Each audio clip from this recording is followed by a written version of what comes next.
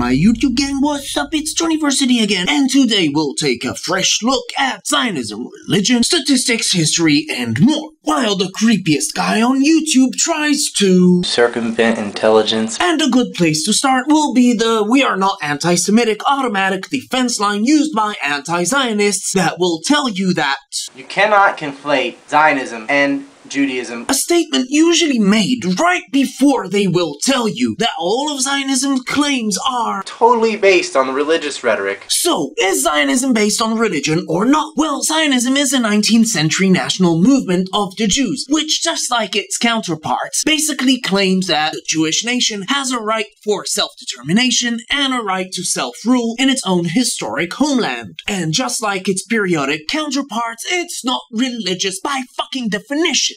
But in fact, it's actually enough to look at Zionism's forefathers. After all, if Zionism is totally based on religious rhetoric, then it would follow that its forefathers were religious. So let's take Theodor Herzl.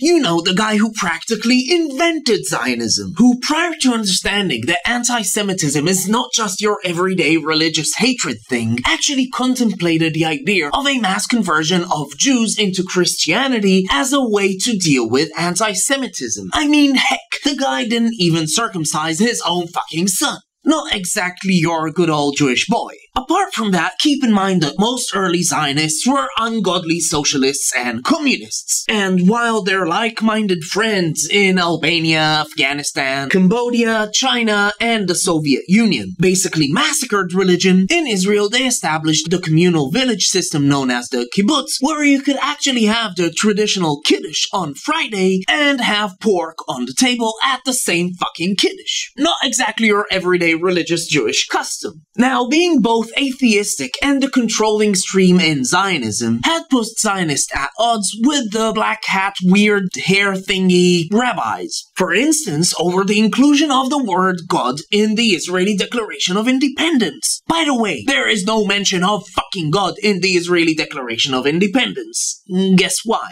But atheism didn't only rule the left side of the map. And like his opponents Ben Gurion and Max Nordau, the guy who established right-wing Zionism was actually anti-religion. And of course you shouldn't forget the two guys who basically led all of Israel's greatest wars, Moshe Dayan and Yitzhak Rabin, both of them atheists, and the latter was actually assassinated by a religious dude. Again, guess why? So I guess that lesson number one is that indeed you cannot conflate the Jewish national movement known as Zionism with the Jewish mythology called Judaism, which, by the way, just like the Irish and Finnish mythologies, plays an integral part in building the core national identity of these three great nations and others. And it doesn't matter whether you believe in the magical Sky Daddy or not.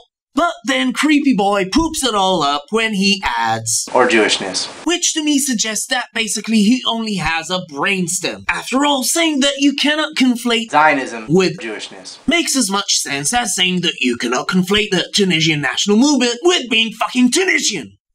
But in any case, right after telling us that Zionism and Judaism cannot be conflated, Creepy Boy's single neuron goes on a rather curious rant about the core founder in Judaism. You know, Jacob who is nothing but a deceiver. He lies to his blind father. He tricks his brother who is starving out of his birthright. He goes and works and tricks his employer. It's his daughter. That isn't good enough. Then sleeps with his other slave. He's got two slaves, two wives, porking his wife's younger sister. Which climaxes to this medieval conclusion. From that bloodline come the Israelites and the 12 tribes and the rest of the rhetoric. Which he then dismisses because, after all, none of this is historically true. This is all religious history. Which to me suggests that Zionists need not worry because, after all, you cannot conflate Zionism and Judaism or Jewishness?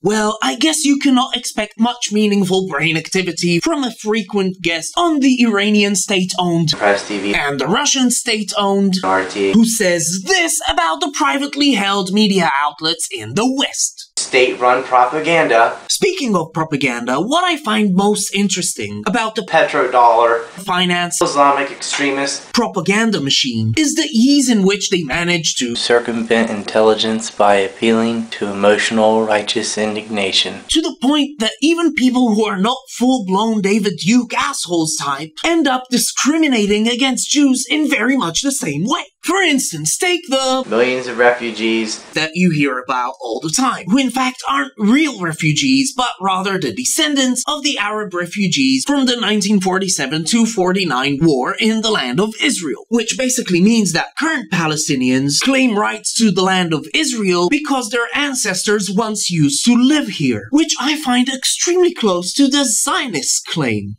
Now tell me honestly, if you support the Palestinian claim while denying the Zionist claim, isn't that discriminating against Jews? Well, luckily enough, there's an anti-Zionist workaround for that. All you need to do is put air quotes when you're saying European Jews. now, at least for now, with our current understanding of genetics, the scientific consensus is that most European Jews did in fact originate from the Levant area. This is why if you look at many European Jews, you find very similar characteristics to, for instance, Syrians, Lebanese, etc. Now, indeed, this consensus might be the result of Science is becoming too isolated from other branches of science.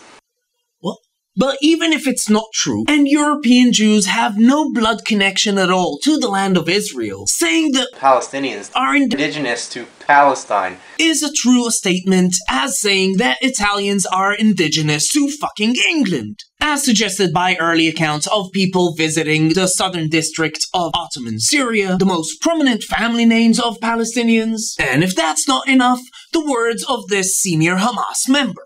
في اساسنا نص نص نص فلسطين نص فلسطين يا اخواننا مصري ونصها سعودي But even better, between 1948 and 51, more than 50% of the immigration to Israel were actually Arab Jews that were ethnically cleansed from Muslim countries around Israel. And their descendants today constitute around half of Israeli population altogether. And mind you, these Arab Jews are not. European Jews. And being descendants of refugees, I would imagine that they would have the same rights as Palestinians, won't you?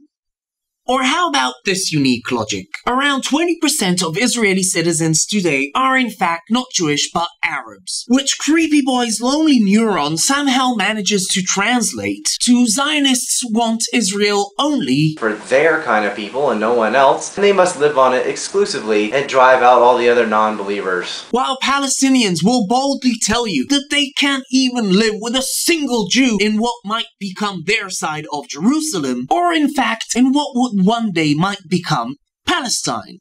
Well, maybe Palestinians think that Palestine is For their kind of people and no one else, and they must live on it exclusively and drive out all the other non believers. and funnier still, if Israel would have expelled All the other non believers. Well, the result would be more than half of the Jews in Israel would have to leave. After all, only a quarter of Israeli Jews are actually rabbi controlled, God fearing, funny dressing religious Jews. And from that quarter, some are actually anti Zionists. Which brings me to my final point.